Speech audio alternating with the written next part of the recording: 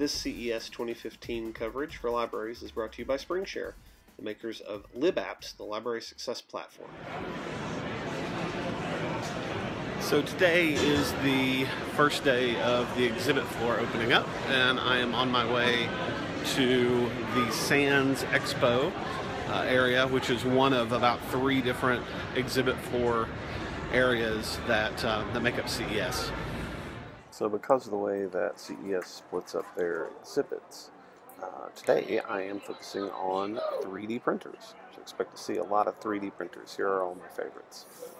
Libraries. I am here at the Feeney CNC booth, uh, 3D printing booth. We'll get a little wide angle shot of their new uh, smaller Delta printer called the Eris. And I am here with John Olofsson, who is going to give us a little tour of the new kind of entry level Delta printer that they've got running now. All right, so we're here today at CES. Uh, on, we're releasing for the first time our Eris Delta 3D printer. We've been talking about it on our forums and in our Facebook and social media posts. And some little teaser pictures here and there, but this is the first time we've actually got it together in printing. Um, the Eris is going to be an all-assembled, ready-to-go entry-level desktop 3D printer in the Delta style. That it's 5.99, features uh, PLA, P-glass, and the flexible materials are really well suited for this style of machine. It's nice and small. It has a 5-inch round by 6-inch tall build volume. We have it set up right now running on a Mac with Matter Control software. We have a special release Matter Control just for the Eris, a little simplified version. Gets users going a little easier than the, the full-blown, full-featured software.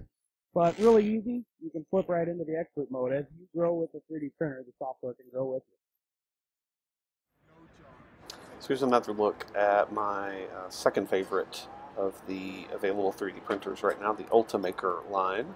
Uh, those are all three of them together, and that's a close-up of the Ultimaker Mini that is uh, that is coming out. And then there's the large Ultimaker, the Ultimaker Extended. Finally, this is my recommendation for libraries that are just looking into getting into 3D printing. This is the Lulzbot Mini. Uh, Lulzbot makes rock-solid printers that are open hardware, easy to repair, easy to use. Uh, this new mini version is going to be a hot seller. It's $1,350, but I think it's worth uh, much more than that in the uh, abilities it has. Uh, here's some just quick shots of different kind of 3D printing. This is stereolithographic 3D printing. This is not something that many libraries have in place just yet, but um, it's kind of a up-and-coming technology. There were many more companies that were producing these printers here at CES this year than previous years. Um, I'll have a rundown of those in the notes that go along with this video, but it's a, a really amazing uh, technology, it actually gives you far, far finer, far more refined results than the typical printing methods that libraries use, the fused deposition modeling. The build areas are smaller, but that's okay.